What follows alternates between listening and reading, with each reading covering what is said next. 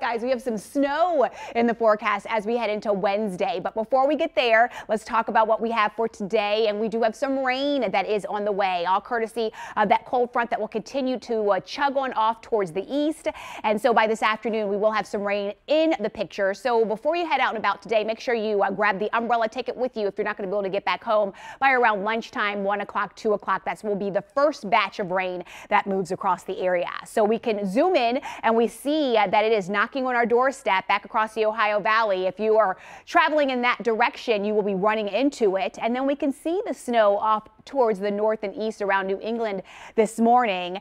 The satellite radar even closer to home shows us dry right now. But again, right now, is the key. As we go into the afternoon, bigger changes in the forecast. As we go into the afternoon, the cold front also going to be the culprit of some colder air, much chillier air moving in as we head towards tomorrow. So ahead of the front, we are on the mild side for today, but the, behind the front, that's when we're going to be dealing with temperatures dropping into the 40s and the 30s as we head into Tuesday and also Wednesday, setting us up for the chance for some snow to roll in. But for today, out the door this morning, temperatures are well above above average. We should be at about 32 degrees now for this time of the year, and we're not seeing that anywhere, not even close to that anywhere at this point. We'll move through the day. Temperatures bump up into the 60s, but also that cold front ahead of it, behind it. We will stay gusty today. So these numbers really going to ramp up with your sustained winds gusting up to about 10 to 15 miles an hour, but the gusts at the south up to about 35 to 40 miles an hour before it's all said and done today.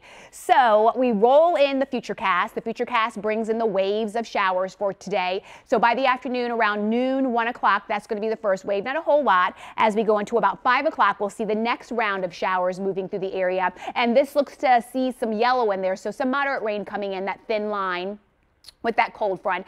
And then the next round comes in around 7 o'clock, a few more showers, and then we'll dry out, and we'll clear out. And by tomorrow, we'll see some sunshine, but that's not going to last long. Look what happens as we go into your Wednesday. There we go. We have some blue. So we do have the potential for some snow showers coming in. Now remember, temperatures up and down, up and down. So nothing really sticking all that well. It's just going to be a little bit slick out there. So that's going to be the problem. And if anything does stick, we're talking maybe about a coating, a dusting up to an inch if we even get that inch. So that's uh, kind of optimistic if you like the snow. In terms of uh, the out the door cast for today, well, we're headed to the mid 60s before it's all said and done there. Again, it will be mild temperatures above average and then temperatures go below average as we head into Tuesday. So really we're going to have a weather whiplash before it's all said and done. Put your brace on, Megan Knight and Christian. All right, we'll be watching.